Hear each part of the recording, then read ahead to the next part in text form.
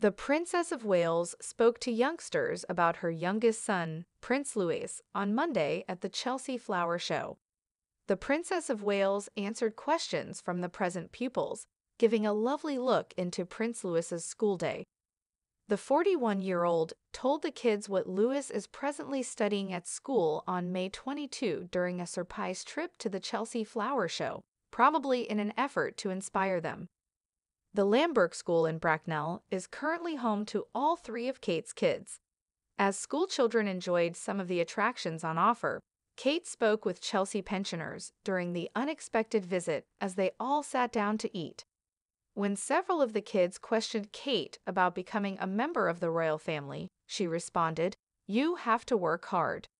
She then made an effort to inspire them by outlining all Louis had been studying in school. Before demonstrating her drawing prowess, she told them that Louis was growing wide beans at school. All of the present children attended 10 different schools, including Christchurch Cove Primary School, St. George's Cove Primary School, and Cameron Vale School. The Royal Horticultural Society's RHS program for school gardening includes all of the participating schools.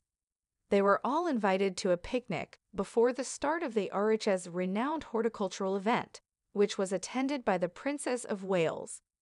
With the picnic, Kate hoped to spread her years long passion for gardening and the outdoors among more young people. Normally, the Prince and Princess of Wales attempt to keep their three children out of the public eye, but over the past year, all three have attended engagements with their parents. On May 6, all three of them were present to witness their grandfather's coronation at the king's coronation. The royal couple carried their two youngest children into Westminster Abbey, but Prince George, who will turn 10 in July, played a prominent part as one of the pages of honor and entered separately.